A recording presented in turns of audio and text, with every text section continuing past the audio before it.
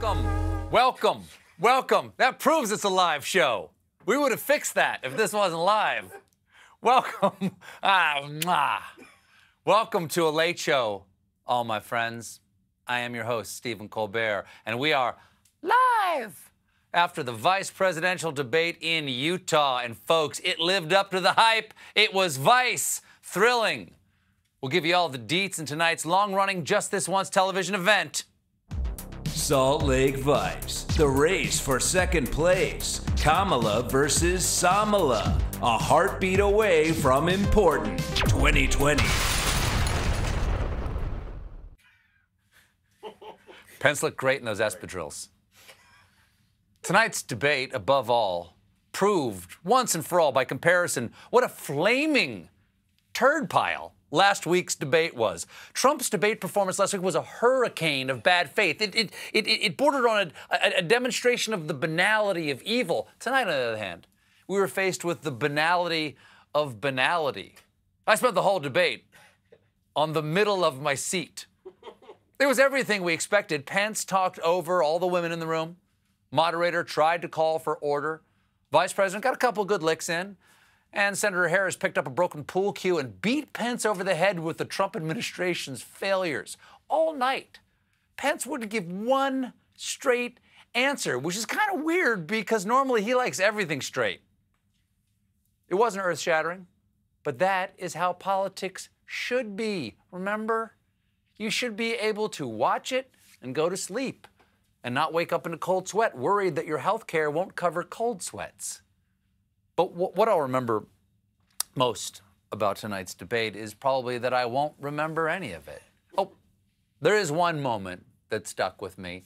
You'll know it when you see it. Everyone's buzzing about it, but let's earn it. Now, the stakes for this vice presidential debate were unusually high. Unlike previous VP matchups, Harris and Pence could be taking over for their bosses pretty soon, considering that Biden is a 77 year old man and Trump is a 74 year old lawn sprinkler full of pathogens. In fact, because of the infection risk, extra precautions were taken tonight, like these plexiglass barriers. Gotta say, I've seen better sneeze guards at the Sizzler salad bar. Obviously, the pandemic was tonight's primary topic. It's something Pence should know a lot about, considering he's head of the White House task force on the coronavirus. And he has done an exemplary job at his task of forcing the coronavirus on the White House. The moderator, Susan Page, started by introducing herself. I'm Susan Page of USA Today. You may have seen me shoved under your hotel room door. Remember, you used me to clean up that coffee spill. Right off the bean, Harris reminded voters that Trump and Pence were too slow to respond to this deadly virus. On January 28th, the vice president and the president were informed about the nature of this pandemic. Can you imagine if you knew on January 28th, as opposed to March 13th, what they knew, what you might have done to prepare? Four words toilet paper shopping spree. Pence struggled to explain how they shanked the coronavirus crisis so badly. Our nation has gone through a very challenging time this year. Adding, I should know. I was in charge of it. Pence started off with something of a whopper. From the very first day, President Donald Trump has put the health of America first. And by first day, I mean the first day he tested positive. And by putting the health of America first, I mean riding the dexamethasone pony right into the maelstrom of Ragnarok. Again, Pence didn't always answer the question he was actually asked. Well, Susan, uh, thank you, although I would like to go back. To the year 1624, women have been showing far too much ankle since then. Pence attempted to draw an insane equivalency to the coronavirus. It was 2009. The swine flu arrived in the United States. Ah, yes.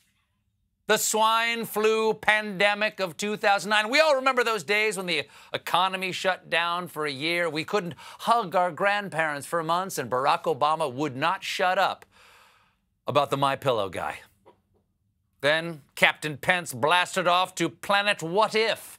If the swine flu had been as lethal as the coronavirus in 2009, when Joe Biden was vice president, we would have lost 2 million American lives.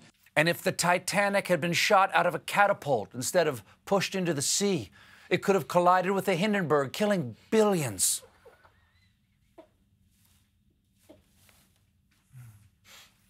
On the subject of climate change, Pence made another hollow promise. We're going to take care of our environment and follow the science. We will follow it, and once it is asleep, we will smother it with a pillow. It will look like an accident, this much I swear. Then Pence threw this Hail Mary. Newsweek magazine said that, that Kamala Harris was the most liberal member of the United States Senate in 2019, more liberal than Bernie Sanders. What? More liberal than me? In 2019, I was one of the top 2% of the top 1% of the most liberal people in the Senate. Anyway, that's my two cents, which I believe should be taxed at 80%. I miss him. I miss doing that guy. Harris explained Joe's theory of international diplomacy. I love talking with Joe about a lot of these issues. And, you know, Joe, he, I think he said it quite well. He says, you know, foreign policy, it might sound complicated, but really it's relationships. Okay, relationship. So I'm supposed to make Germany sign a prenup, cheat on it with a porn star, then ditch it for a younger country with uh, bigger Alps? Senator Harris went on uh, and in on Trump's terrible attitude toward American service members and his refusal to stand up for them against Vladimir Putin. Public reporting that Russia had bounties on the heads of American soldiers. And you know what a bounty is? Ooh, I know what a bounty is. It's a damn good paper towel to throw at hurricane survivors. How many points do I get? It wasn't as bad as last week, the debate, I mean, because, well, first, what could be? But it bears repeating that Mike Pence would also not obey the time limits, no matter how many times Susan Page politely asked him to. Let Thank me you, also Vice say, President Pence. the American President people Pence, you deserve, know, Susan, Vice the American President people Pence, I to didn't, uh, know. Vice President There's Pence, I did not, pattern excuse me. Susan, the I did not create the rules for tonight. Susan, if you want to make Mike Pence shut up, you have to ask him to say Black Lives Matter. Now, Senator Harris landed some blows, and Mike Pence dodged and parried, but ultimately, it was a vice presidential debate. And there's a limit to just how interesting it's. Oh my God, look at his hair! He's so full of crap, he's attracting flies. I. God bless you, fly. I guess the plexiglass wasn't high enough. But listen, listen, all jokes aside, thoughts and prayers to that fly's family. It's got to quarantine for two weeks now. We got to get that fly to Walter Reed. Then minutes later, they were talking about a very important issue, but I missed the whole thing because the fly was still on Mike Pence's head. And it stayed there for over two minutes. Two minutes! Meaning that fly has a longer attention span than the President of the United States. That's a long time for a fly. It made a life there. It joined Soul Cycle, you know, it mixed at the bars. It changed his voter registration to Mike Pence's head. Now, remember last week when Trump wouldn't uh, disavow, you know, hate groups? Well, Mike Pence tonight denied that Trump is a white supremacist by pointing this out. President Trump has Jewish grandchildren. And furthermore, Susan, I want to point out that I have a black friend, by which I mean this fly on my head. Somehow, Pence tried to close by painting himself as the unity candidate. Here in America, we can disagree. We can debate vigorously, as Senator Harris and I have on this stage tonight. But when the debate is over, we come together as Americans. No, don't come together. Stay away, especially from Mike Pence. The White House is a hot zone. Speaking of which, there's, there's still so much we don't know about how and when Trump contracted COVID. One early sign of infection is loss of smell and taste, but how could you tell he lost his taste when he never had any? And it's especially troubling that the White House won't say when Trump's last negative coronavirus test was. I would love to release my tests, but my nostrils are under audit. This is important because the negative test can help contact tracers determine exactly who was exposed and when. So today, reporters pushed White House flack Brian Morgenstern for an answer. Obviously, you know when he last tested negative. Why I don't White- know when he last tested negative, and I've, I've answered this question a number of times. Well, to be clear, yes. the White House knows when he last tested negative. I guess simply put for Americans, why can't the White House say when he So last tested there's negative? th- look, we've we've addressed this. The the we're, we're not asking to go back through a bunch of records and look backwards. We don't want to go back through a bunch of old records. Those things are slathered with COVID. Now, this situation is raising more questions than the White House is refusing to answer. First up, the White House has claimed that Trump was the most tested man in America, and yet they can't produce his last negative. That's led to some to look for a more sinister explanation. According to Jake Tapper, White House officials believe Trump was infected at the event for Judge Barrett on Saturday, September 26th, which reminds me of this wise quote from Ruth Bader Ginsburg Payback's a bitch. Then, sounded better when she said it. Then, Tapper, hello, Jake. Tapper notes that they won't release Trump's negative test, raising questions as to whether he was tested at all between infection and the debate Tuesday, September 29th. That means he could have knowingly tried to give Biden COVID.